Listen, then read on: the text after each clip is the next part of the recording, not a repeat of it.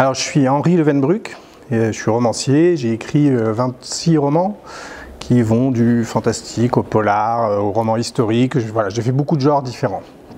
Le but de la littérature est de créer des ponts entre, euh, entre les lecteurs, pour moi. C'est-à-dire des liens de, qui permettent aux gens d'abord de, se sentir un peu moins seuls, parce que l'expérience de la vie, c'est quand même une expérience de solitude. Donc de se dire qu'on peut partager des émotions euh, avec un auteur, euh, et euh, tout seul dans son coin, dans son lit, en train de lire un livre, et de se rendre compte qu'une émotion qu'on a, elle est partagée. pour moi, c'est ça le vrai but de la littérature. Alors pour moi, le, le genre d'un roman est anecdotique. ce qui prime, ce qui compte, c'est les personnages et ce qui leur arrive. Le genre dans lequel ça s'inscrit, c'est une question qui pour moi est un peu annexe. Je dis souvent que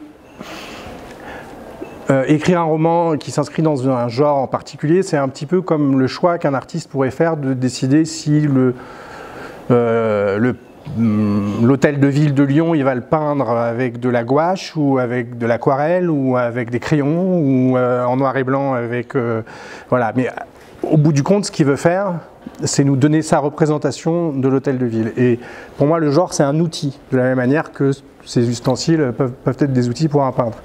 Donc c'est un outil qui permet peut-être d'aller plus vite, plus directement, mais en tout cas, ce n'est pas l'essentiel. Euh, et je pense que n'importe quelle histoire, n'importe quel personnage peut s'inscrire dans n'importe quel genre, en fait.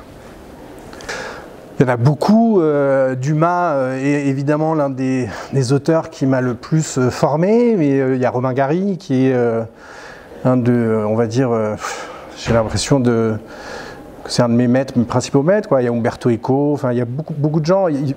J'ai lu énormément, je lis beaucoup, mais j'ai lu tardivement. Et ce qui est amusant et qui peut d'ailleurs rassurer des jeunes auteurs, c'est que j'ai commencé à écrire avant de lire. C'est-à-dire j'ai commencé à avoir la passion de l'écriture avant d'avoir la passion de la lecture. Et donc ça m'arrive même souvent de dire à des mamans ou à des papas qui viennent me voir en salon du livre et qui sont inquiets parce que leur gamin ne euh, lit pas, et je leur dis mais vous savez moi j'ai commencé à, lire que vers 16 euh, ans, 15, 16, 17 ans, alors que je suis devenu écrivain. Donc la lecture, elle est pas, on n'est pas obligé de faire lire les gamins de 8 ans, 10 ans, en se disant ils liront jamais s'ils lisent pas à cet âge-là. Alors j'ai fait des études littéraires, j'ai fait Hippocagne-Cagne euh, et puis après une maîtrise de, de langue. Euh, enfin de littérature anglo-saxonne et d'anglais. Donc oui, j'ai un peu de formation, mais en tout cas, écoute, à l'époque où, à l'époque où j'ai fait mes études, parce que j'ai quand même quelques années, il n'y avait pas beaucoup d'options pour ce qu'on appelle le creative writing. Euh, en France, c'était pas très, pas très développé, quoi. Donc, et puis ça se faisait pas. À l'époque, ça se faisait pas trop. On faisait des études de lettres, quoi.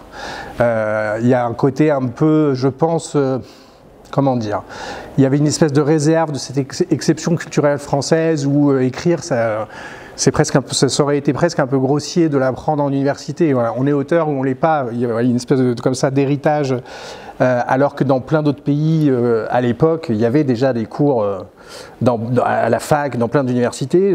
King a enseigné le creative writing pendant des années à l'université. Voilà, c'est quelque chose qui manquait beaucoup. À ma génération, ça a beaucoup manqué. Mais moi, mon école ça a été d'abord Hippocanca et après ça a été aussi euh, le jeu de rôle parce que j'ai beaucoup euh, organisé de jeux de rôle, beaucoup masterisé des parties de jeux de rôle, donc j'ai été maître de jeu et ça c'est une école de narration qui est extraordinaire parce que quand tu as une table avec six joueurs devant toi et que tu veux maintenir leur attention et leur amusement et leur divertissement pendant 4 heures, 5 heures, une fois toutes les semaines, eh tu es obligé d'apprendre à être divertissant.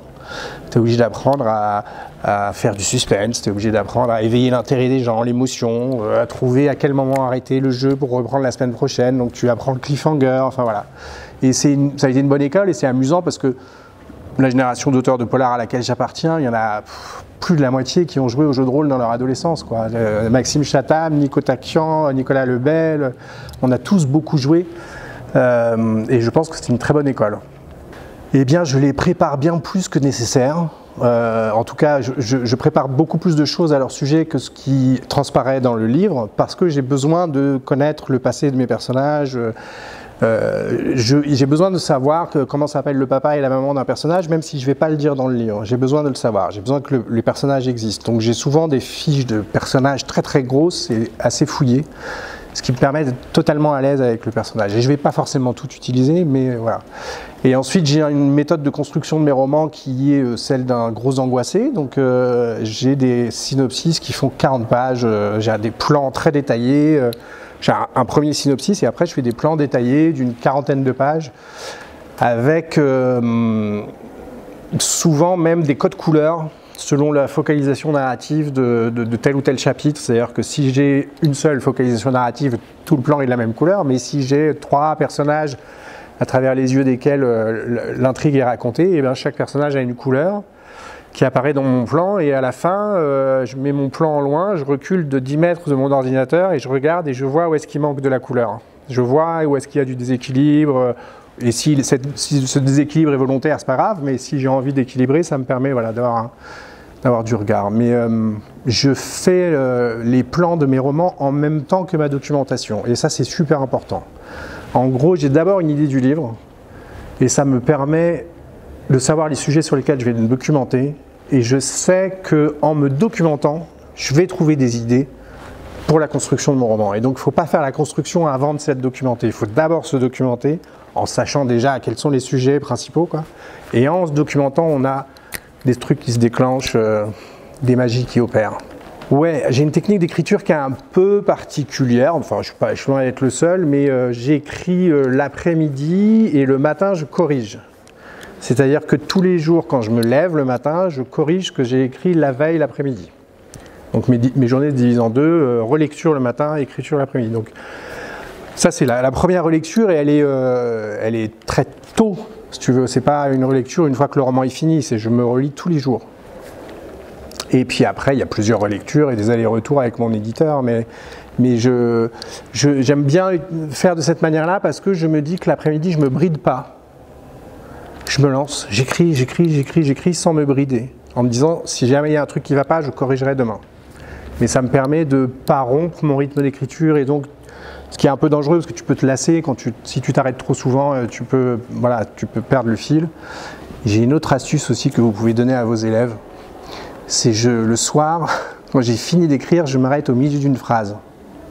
Comme ça, le lendemain matin, j'ai envie d'aller bosser parce que je veux finir la phrase qui m'a hanté toute la nuit.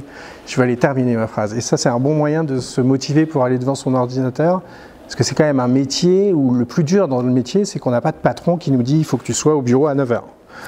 Donc il faut avoir euh, des petites astuces pour avoir le courage d'écrire tous les jours. Il faut trouver trois ou quatre lecteurs de confiance.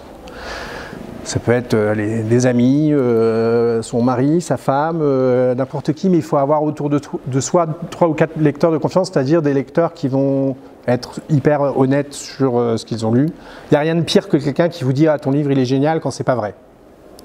Et il n'y a rien de mieux que quelqu'un qui vous dit euh, bah, ton livre il y a des défauts là, là et là et là. Il n'y a rien de plus enrichissant. Alors c'est toujours vexant. hein. Moi j'ai euh, écrit, euh, j'ai publié 26 romans, j'ai 52 ans et quand mon éditrice me renvoie mon manuscrit corrigé, pendant 10 minutes je suis énervé. Je dis il du rouge partout, il m'énerve. Et puis je me calme et je regarde ses corrections et je dis elle a raison, finalement elle a raison. Bon voilà.